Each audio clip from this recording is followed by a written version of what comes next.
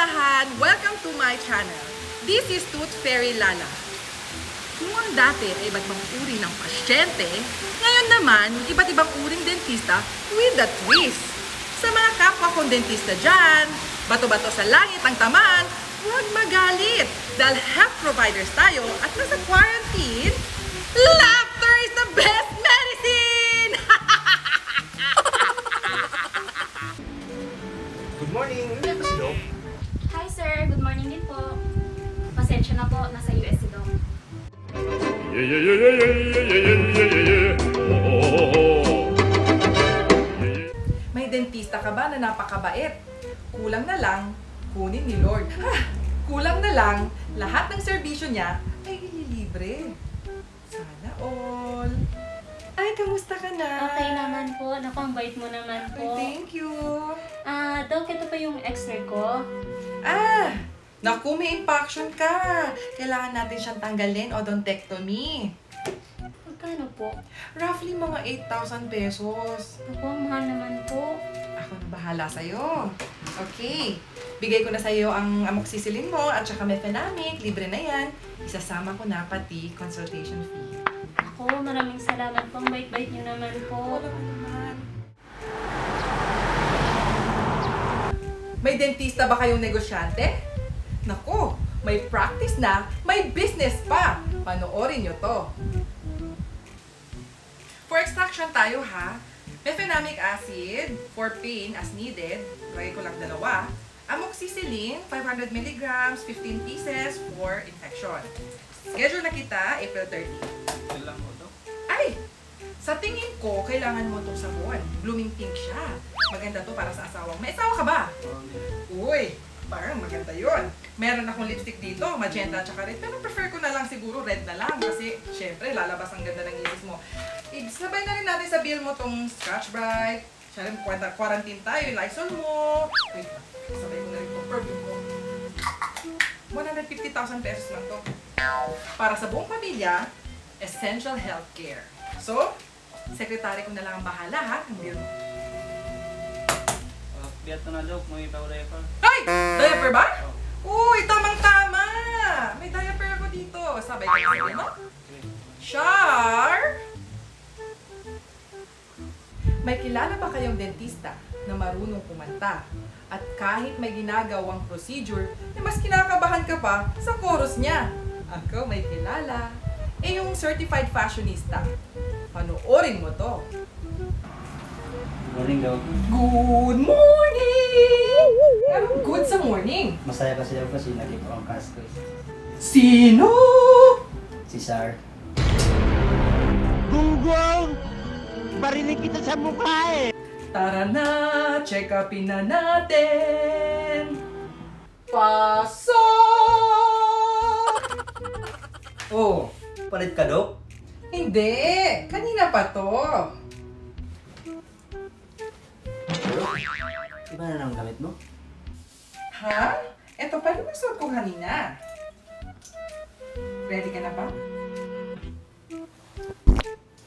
Dok, hindi ako na ilo, Dok. Doon na sa yung budget mo? Hala, may sakit kalimot?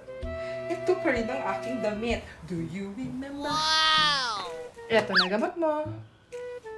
Ah, Dok. Doktor ang matanay kalagayan ko kasi doon yung budget mo. Kumalan lang yan sa mga dentista, fashionista. Good afternoon, nandiyan si Doc? Ay, kayo po pala sir. Good afternoon po. Sir, pasensya na po. Kakatawag lang ni Doc. Nasa Hong Kong po siya ngayon.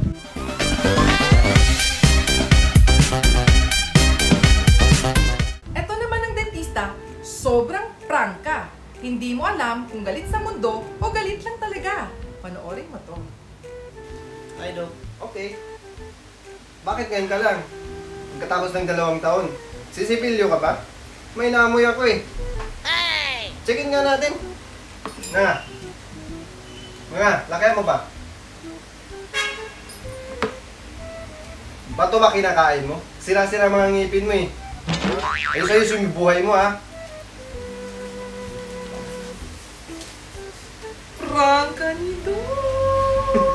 I am the one, the way your son don't need a gun to get respect up on the street.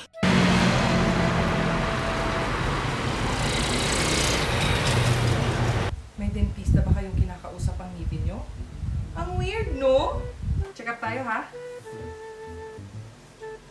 Uy! Hi! Hi, ka na? Ah, Kamusta ka na? Buti na, Dok huwag masyadong magsasalita ha, may kausap ako. Uy, massage kita ha! Massage kita! Hado? I-massage ko gums mo, wait lang ha. I-clean na kita ha? Hado? I-clean. Hindi ikaw ang kausap ko. I-clean na kita, i-clean na kita. Uy, pinapabayaan ka ba? Uy, ayan, malinis ka na. Clean, clean, clean, clean, clean, clean, clean, clean.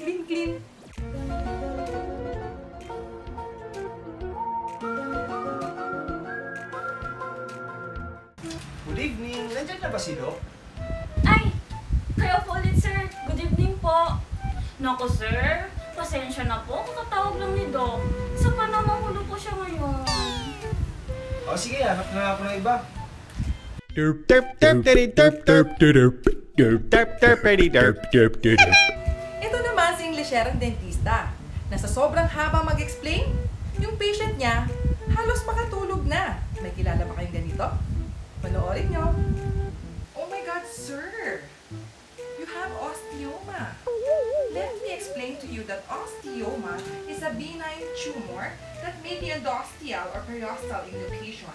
It grows extremely slowly and may cease growth spontaneously. Sir, do you understand? Sir?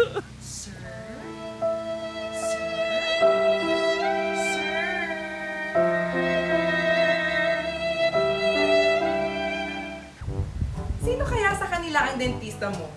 Uy, nag-iisip.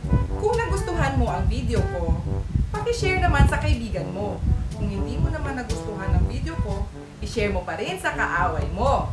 Remember, please stay at home and keep safe. Like, share, and subscribe. Thank you for watching! Shout out dyan kay Coach Cons!